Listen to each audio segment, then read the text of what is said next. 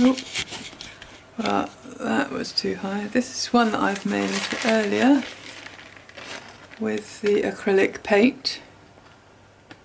Just white acrylic paint painted on,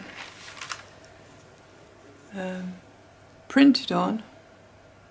So I've just painted around the edge of there. I've used a little bit of bubble wrap, uh, painted and then printed. And I've also just painted like so and then afterwards you make it fairly thick so you can scratch marks into the paint.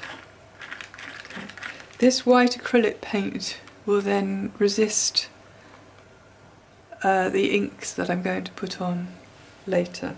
So this has to dry completely before I can do the next stage.